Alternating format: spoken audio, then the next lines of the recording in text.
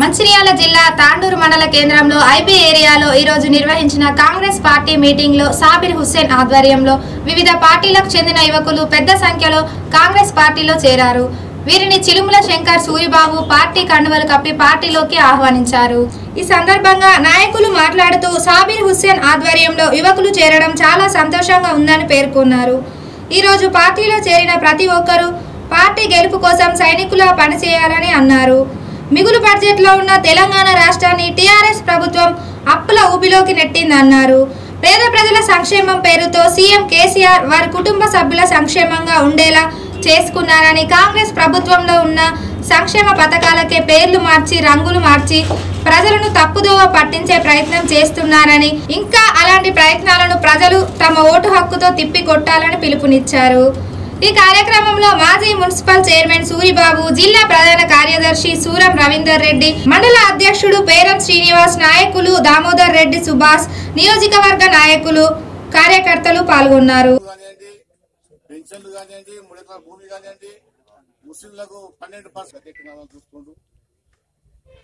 కట్టు కట్టు కలిసిగా పనిచేసి కాంగ్రెస్ పార్టీని గెలిపిస్తాం. అంతేకాకుండా రాజశేఖర రెడ్డి గారు ఉన్నప్పుడు మనకు ఎన్నో సంక్షేమ పథకాలు ప్రవేశపెట్టి ప్రతి ఒక్కరికి ఇందిరా మిల్లు కానివ్వండి మన ఇటు సగం మంది పెన్షన్స్ కట్ చేసి సగం మందికి ఇవ్వడం జరుగుతుంది.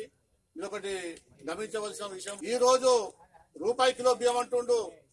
చేసుకొని ప్రజలు కోరుకొని ఈ ముందస్తు ఎన్నికలను ప్రజల నెద్దిన రుద్దిన ఈ నియంత ఈ పచ్చి అహంకారి కేసీఆర్ను ఇంటికి పంపాల్సిన బాధ్యత కాంగ్రెస్ పార్టీ మిత్రపక్షాలదే కాకుండా తెలంగాణ రాష్ట్రంలోని ప్రజలందరూ కూడా ఉందని చెప్పేసి మీ అందరికీ విన్నవిస్తూ సకల జనులు సబ్బండ వర్ణాలు కొట్లాడి మన తెలంగాణ మనకొస్తే మన బతుకు బాగుతుంది బాగుపడుతుందని చెప్పేసి ఏ ఆ జెండాలన్నీ పక్కకు పెట్టి ఒకే ఎజెండా తెలంగాణ కావాలని చెప్పేసి పోరాటం చేసిన ప్ర- అన్ని ప్రతిపక్షాలను ప్రజలను మోసం చేసి పచ్చి నియంతలాగా పరిపాలించిన ఈ కేసీఆర్కు బుద్ధి చెప్పాల్సిన సమయ ఆసన్నమైంది.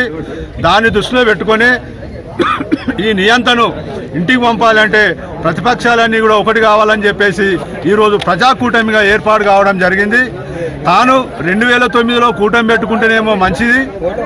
మంది- ఇప్పుడు కాంగ్రెస్ పార్టీ టీడీపీ కలిస్తేనేమో చెడాట తను చేస్తేనేమో సంసారం ఇతరులు అయితే వ్యభిచారం అనే నిరహంక దురహంకార ధోరణితో కేసీఆర్ ఒక ఫ్రస్ట్రేషన్ గురై ప్రతిపక్ష నాయకులను ఇష్టారీతిన మాట్లాడడం జరుగుతుంది. ఇటువంటి దుహ దురహంకారికి బుద్ధి చెప్పాల్సిన బాధ్యత ప్రజలందరి మీద ఉన్నదని చెప్పేసి కాంగ్రెస్ పార్టీ పక్షాన విన్నవిస్తూ కాంగ్రెస్ పార్టీ అధికారంలోకి వస్తే ఖచ్చితంగా ప్రజలందరికీ కూడా మేలు చేస్తుంది. రైతులకు రెండు లక్షల రుణమాఫీ ఒకే దఫా చేస్తుంది. పేద ప్రజలందరికీ కూడా వైట్ రేషన్ కార్డు ఉన్న వాళ్ళకు ఆరు సిలిండర్లు ఉచితంగా ఇస్తుంది. ఇందిరమ్మ ఇల్లు కట్టుకున్న వాళ్ళకు ఈ ప్రభుత్వం ఏదైతే బిల్లులు ఆపిందో వాళ్ళకు పెండింగ్ బిల్లులు ఇస్తూ ఆ ఇంటికి ఇంకొక రూమ్ నిర్మాణం చేసుకోనికి అదనంగా రెండు లక్షలు ఇయ్యనికి ఈరోజు కాంగ్రెస్ పార్టీ మేనిఫెస్టోలో పెట్టడం జరిగింది. వికలాంగులకు పదిహేను వేల పెన్షన్ను మూడు వేలకు పెంచడానికి కాంగ్రెస్ పార్టీ మేనిఫెస్టోలో పెట్టడం జరిగింది. అలాగే వృద్ధులకు వితంతువులకు ఇచ్చే వెయ్యి రూపాయల పెన్షన్ను రెండు వేలు చేయడానికి కాంగ్రెస్ పార్టీ మేనిఫెస్టోలో పెట్టడం జరిగింది. మనం గుర్తుంచుకోవాల్సిన అవసరం ఒకటి ఉంది. కాంగ్రెస్ పార్టీ ఏ మాట అయితే ఇచ్చిందో దాన్ని అమలు జరుపుతుంది ఏం చెప్పిందో దాన్ని అమలు చేసి తీరుతుందని చెప్పేసి మనలు గుర్తుంచుకోవాల్సిన అవసరం ఉంది. రెండు వేల నాలుగు ఎన్నికలకు ముందు ఉచిత విద్యుత్ ఇస్తా విద్యుత్ రుణం మాకి- బాకీలు రుణం మాఫీ చేస్తా అని చెప్పి రాజశేఖర రెడ్డి గారు చెప్తే అప్పుడున్న ముఖ్యమంత్రి ఉచిత విద్యుత్ అనేది ఇస్తే విద్యుత్ తీగల మీద బట్టలు ఆరేసుకోనిక పనిచేస్తుంది కానీ విద్యుత్ రాదు అని చెప్పిండు. అయినా కూడా అధికారంలోకి వచ్చిన తర్వాత రాజశేఖర రెడ్డి గారు మొట్టమొదటి సంతకం ఉచిత విద్యుత్ మీదనే పెట్టి ఉచిత విద్యుత్ ఇచ్చి విద్యుత్ రుణమాక విద్యుత్ బాకీలు మాఫీ చేసిన ఘనత ఆనాటి కాంగ్రెస్ ప్రభుత్వానికి దక్కింది.